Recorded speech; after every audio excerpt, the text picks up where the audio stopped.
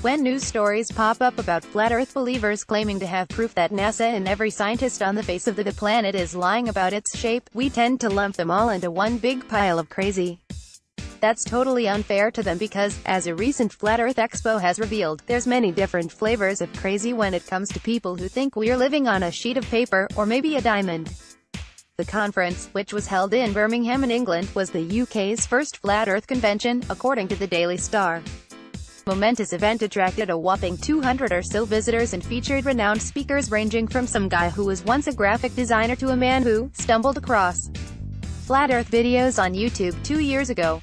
Yes, it was a veritable who's who of utter insanity, and boy was there a lot to take in.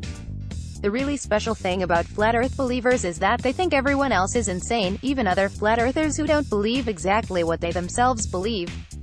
For example, there's a subset of the flat Earth community that believes that the Earth is flat and that it is surrounded by a wall of ice that we know as Antarctica.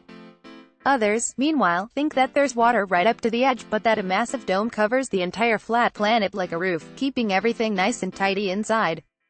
Still others have even more obscure theories. I know, that's hard to imagine.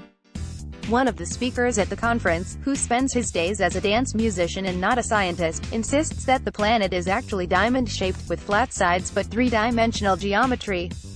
How would such an object be supported? By massive pillars, he says. It's so obvious. NASA and other actual scientists and researchers rarely take the time to address these insane claims, mainly because they're so laughable it's hard to even speak about them without breaking into a fit of the giggles. Tags, flat ear, lol, nature, science.